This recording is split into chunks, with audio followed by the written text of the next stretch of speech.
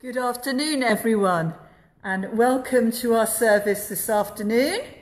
We've had our 10 o'clock service this morning, and um, a lovely full church.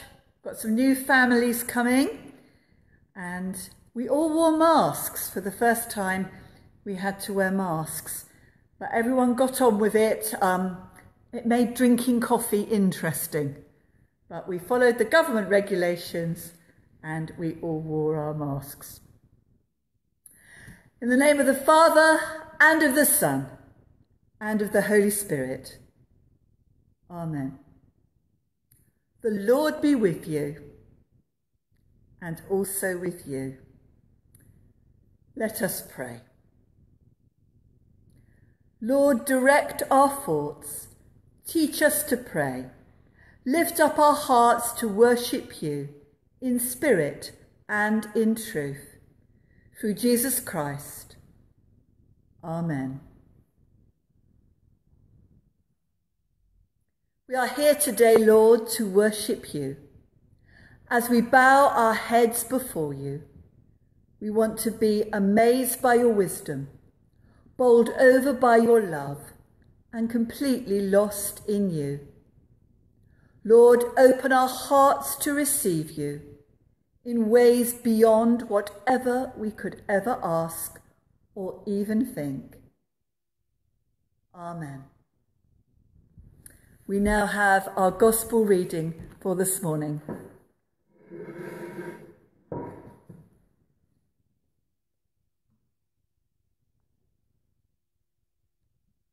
Hear the gospel of our Lord Jesus Christ according to Matthew. Jesus put before the crowd another parable kingdom of heaven is like a mustard seed that someone took and sowed in his field.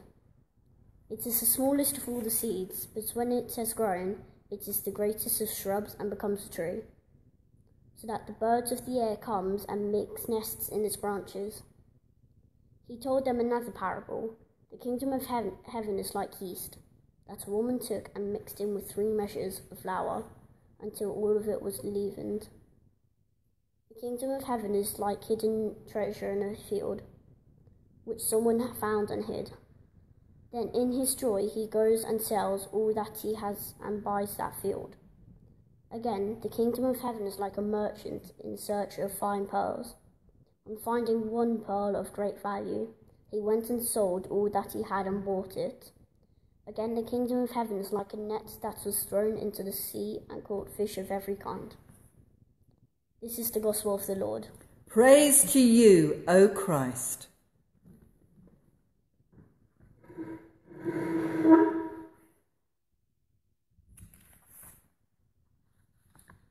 May the words of my lips and the meditations of our hearts be acceptable to you, O Lord, our rock and our Redeemer.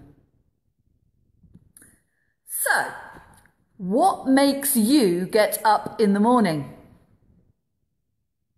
The thought of a cup of tea? Something to look forward to? A phone call or meeting with someone you love? The children or grandchildren need feeding and a cuddle. Or perhaps you are caring for someone whose health is waning and you get up to start their day. Many of us here this afternoon will get up five days a week to work or go to school, plug in the computer or jump in the car. Some of us love our work. I love my work, I love my job. It's not really a job, it's, it's a whole way of life and I feel deeply privileged to, to be the vicar of St Matthew's. Some of our work gives us a sense of purpose. We feel that we are contributing something to society. Some of us don't like our work much, but perhaps enjoy the, co the company of our colleagues and need the money to survive. We all have our stories, and each story is unique and special to God.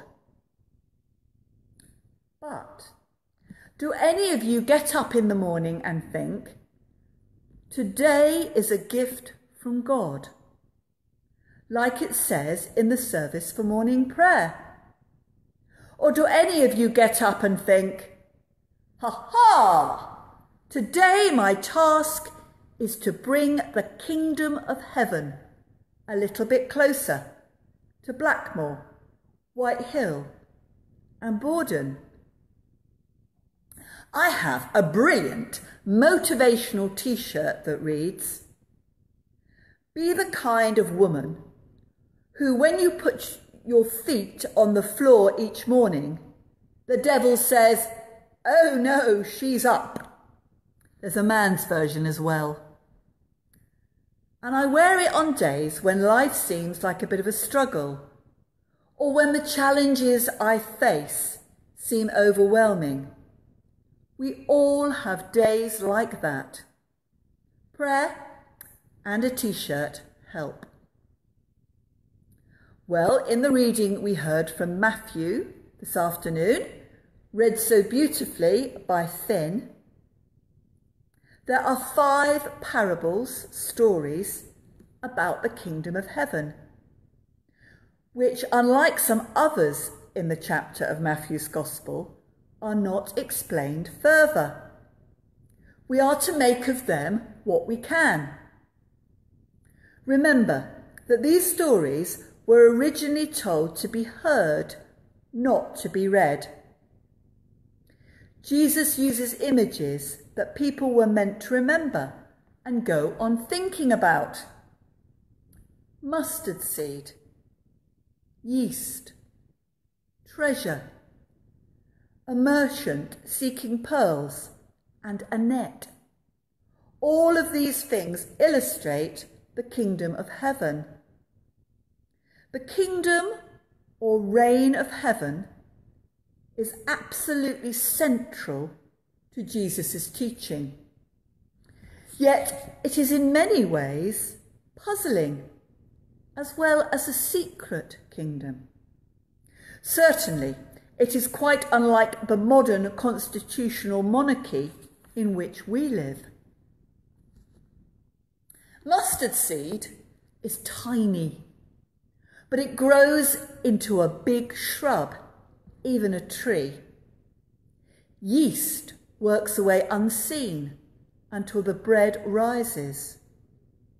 The surprise in these stories is not what the seed and the yeast do, they are both familiar.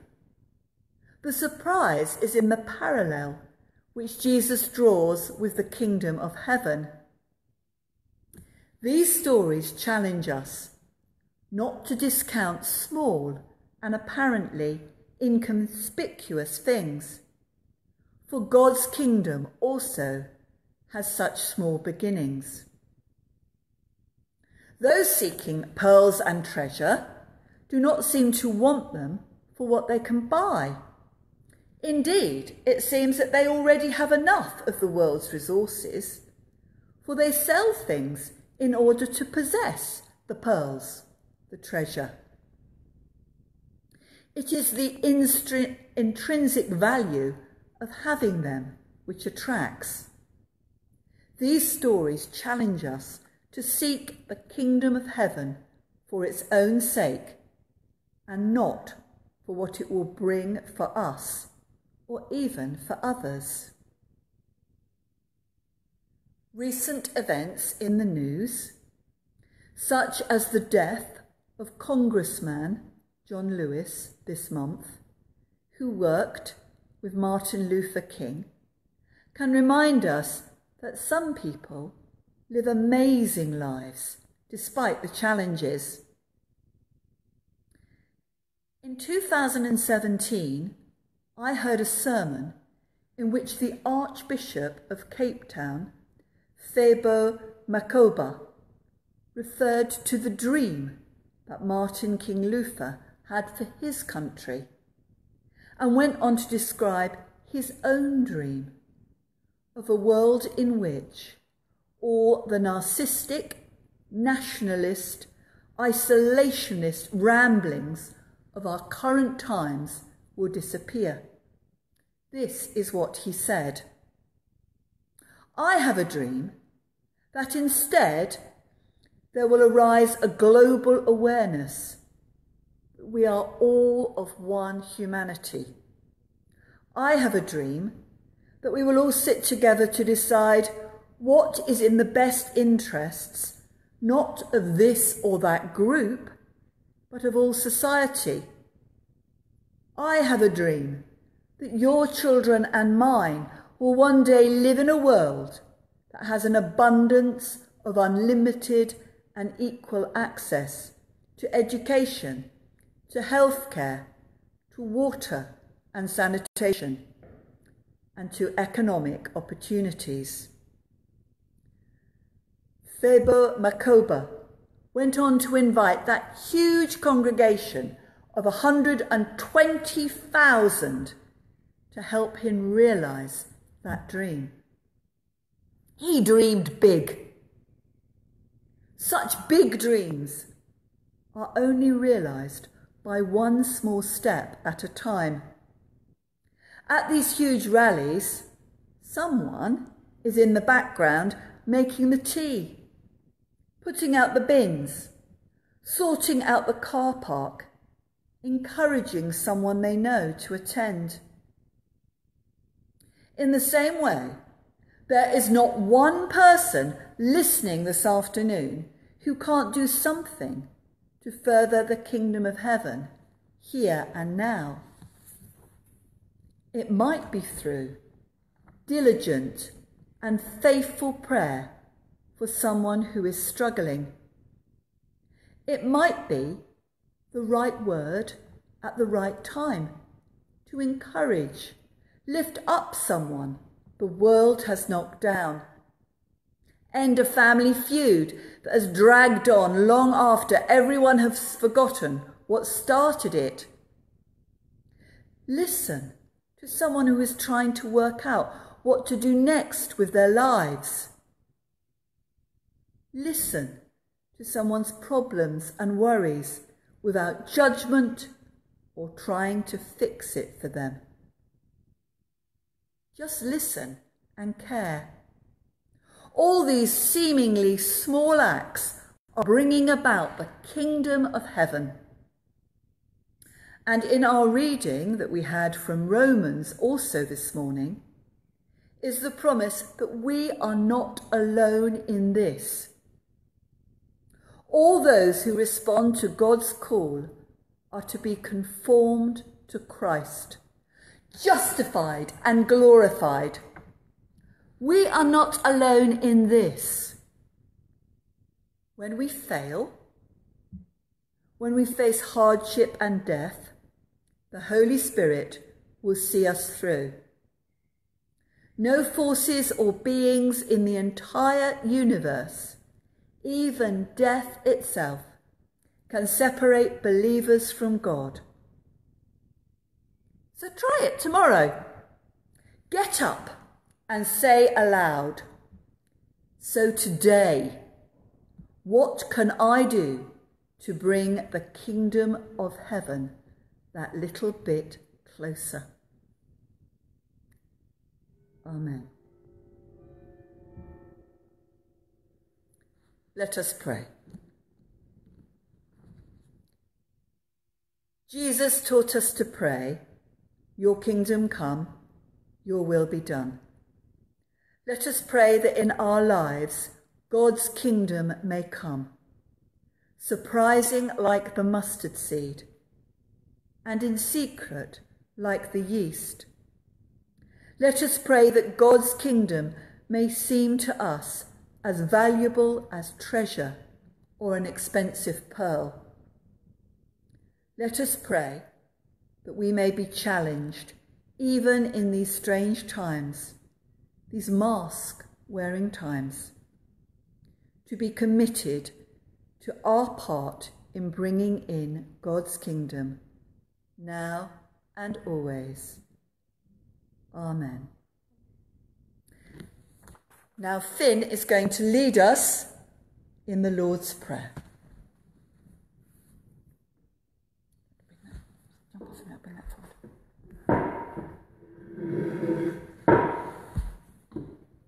Our Father who art in heaven, hallowed be thy name. Thy kingdom come, thy will be done, on earth as it is in heaven. Give us this day our daily bread, and forgive us our trespasses, as we forgive those who trespass against us. And lead us not into temptation, but deliver us from evil. For thine is the kingdom, the power, and the glory, for ever and ever. Amen.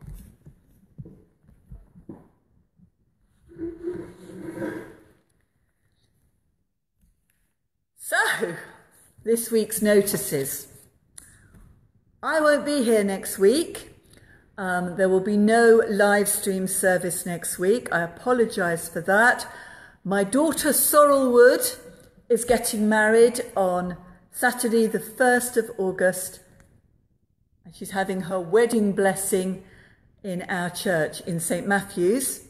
Originally, she was meant to be getting married in Oxford but because of all the um, regulations about holding a, um, a, reception afterwards, we've moved it to, to Hampshire. So the legal part of the wedding is taking place in Oxford on Friday, the 31st of July. And then she is going to have her wedding blessing and wear her beautiful dress on Saturday, the 1st of August at 12:30 at St Matthew's. And I know a lot of you are going to come and stand outside and welcome her. I've got a beautiful um, horse and carriage from um, a, a local family providing the horse and the carriage, and it's going to be a very special day. And then on the following Sunday, Sunday the 2nd of August, Reverend um, Wendy Malice and the Reverend Nigel Walker will be leading worship at St Matthew's Church. So that is my news. Hear the teaching of Jesus. Blessed are those who hear God's word and obey it. Go now and do God's will and the blessing of God Almighty, the Father, the Son, and the Holy Spirit be among us and remain with us always. Amen. Go in peace to love and serve the Lord in the name of Christ. Amen.